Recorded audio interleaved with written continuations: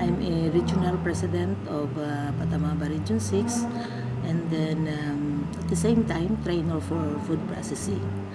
The home-based workers in the Region 6, uh, we have a group enterprise and then the uh, bakery group enterprise and then we have food processing. And then uh, the market, and the local and the, in the national.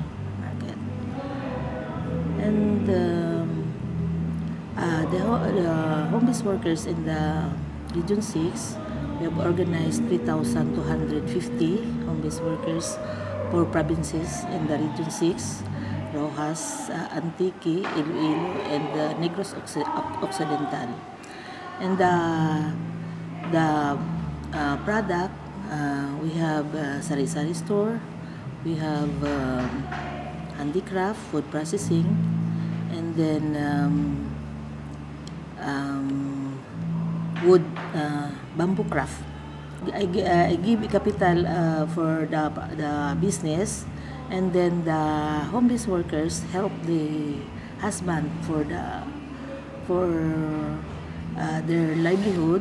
And uh, Patamaba will get the the uh, product of the homeless workers, and then the Patamaba will sell So it, it helps them. if you uh, you can help sa you can help to the children to go to school for their expenses or for their expenses for their their house and then help husband to to to savings for the children for this uh, uh, 2005 last 2005 uh, I get um, uh, six uh, 600,000 to TESDA, the government, for Trincom production, for the livelihood uh, product ng homeless workers. And of course, the, the SWD help for training in food processing.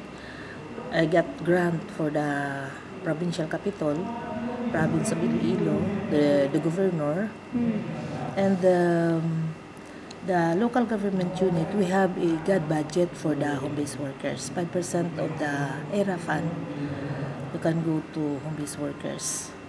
And um, I have access the ano, the social protection sa SSS, PhilHealth. You can support to the organization. Sounds like you've made a lot of progress. Yeah.